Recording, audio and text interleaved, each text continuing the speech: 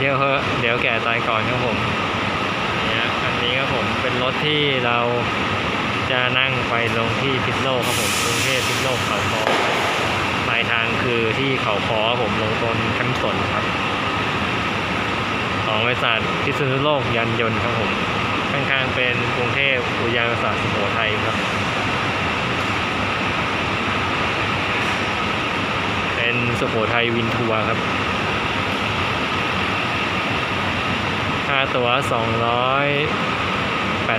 บาทครับผม ไปลงที่บขสเก่าพิษโลกครับ แต่ใครจะลงที่บขสใหม่ก็ได้ครับผมราคาเท่ากันครับ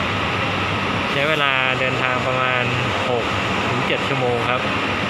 จะออกรถออกเวลาสี่ทุ่มก็จะไปถึงประมาณสักตีสี่ตีสี่ครึ่งครับมาบรรยากาศมาฝาครับผมยามค่ำคืนครับผม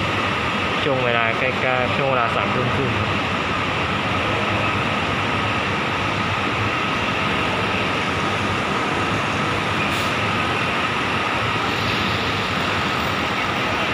คนเยอะมากครับผมเผื่อใครไม่เคยนั่งรอบกลางคืนนะ หรือว่าใครไม่เคยมาหมอชิดครับผมจะได้รู้ไว้ว่าเป็นยังไงครับสำหรับเเลขชันชลานะครับ ช่วงบริเวณชันชลาตรงนี้จะเป็น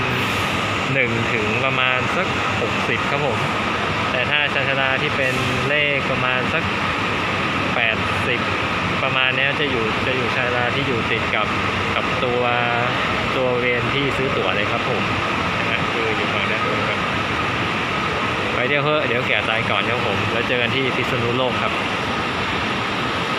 ฝันดีครับผม